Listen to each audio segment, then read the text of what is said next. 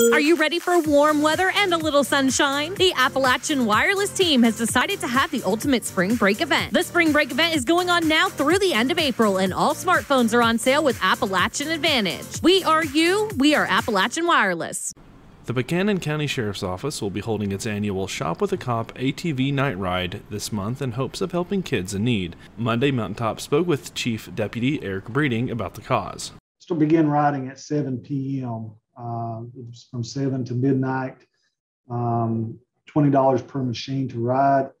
We um, encourage anyone with a side by side or an ATV to come out and ride with us.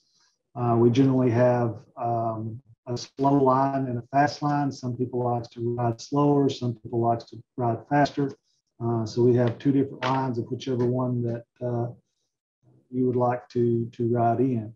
Uh, all proceeds for the ride goes with goes to the Shop with the Cop um, uh, program, the Buchanan County Shop with the Cop program.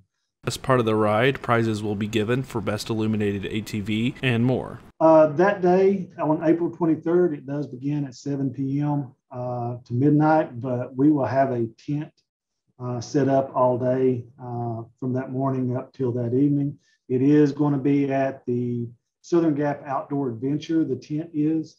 Um, there we will be selling raffle tickets. We actually have a, a Craftsman uh, 2500 PSI uh, pressure washer, uh, gas powered that we're going to raffle off. We are selling those tickets now.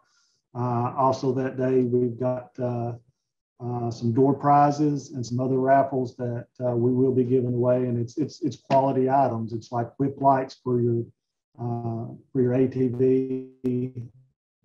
Uh, it's covered for TV. we have um, several other door prizes that we are going to be giving away that day. So uh, it's, it's going to be an all day event.